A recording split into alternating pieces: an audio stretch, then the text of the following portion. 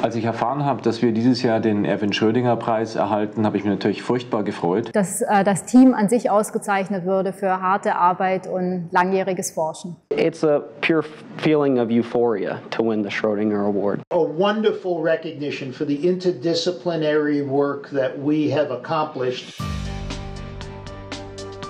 So what we have here are two mice. Both of these mice have received a high-fat diet and they became obese. However, this mouse you can see is much heavier and he did not receive any compound as opposed to this mouse here which received our compound, which shows that at least in mice our compound uh, works to lower body fat mass. Übergewichtige Menschen sind keine disziplinlosen Menschen, die jetzt permanent nur essen Übergewichtige Menschen haben meistens eine Entgleisung ihres Hormonhaushaltes, die es ihnen erschwert, ähm, Nahrung in einem normalen Rahmen zu sich zu nehmen. Both sides of my family, mother's and father's side, are uh, some are obese, some are type 2 diabetic. So it is something that I've been familiar with, something that has sort of motivated me along the way to find some sort of solution for people like my family. Es gibt ja leider heute immer noch kein Medikament, äh, mit dem man erreicht, dass bei massiver Fettleibigkeit tatsächlich 10, 20 Kilogramm verloren werden können. Wir glauben jetzt, dass wir mit diesen Molekülen, die gleichzeitig verschiedene Hormonwirkungen in sich vereinen, in diesen Bereich kommen können und tatsächlich ähnliche Erfolge erzielen können, wie man sie bei der Magen-Bypass-Operation sieht, allerdings ohne den Patienten aufschneiden zu müssen.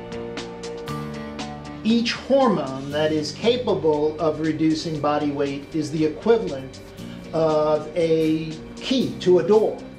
And what we are accomplishing is the building of a master key, where one key can open multiple hormonal doors to maximize the ability to lower weight Ohne die äh, chemische Genialität von Richard DeMarchi wären äh, keine dieser Arbeiten wirklich möglich gewesen. I would agree with Professor Chup that the personal respect and enjoyment that we get from each other's company is a vital ingredient to what we have accomplished over the last uh, decade.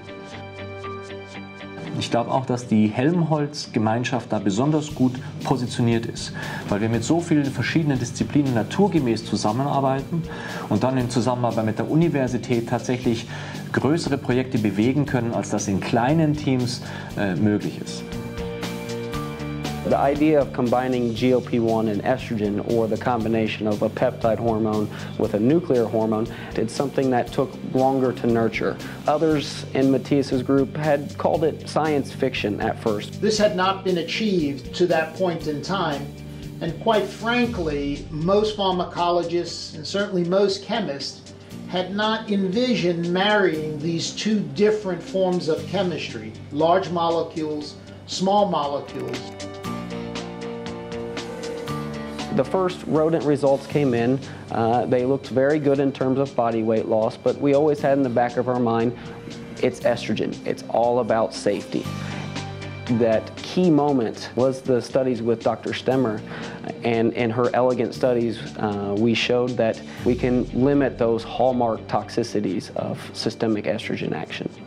Und das war natürlich ein toller Moment. Das bedeutete natürlich, dass unser Wirkstoff sicher ist, also dass er kein krebserzeugendes Potenzial hat. Und wir glauben, dass diese Medikamente hoffentlich in den nächsten fünf Jahren, vielleicht auch sieben Jahren zur Verfügung stehen.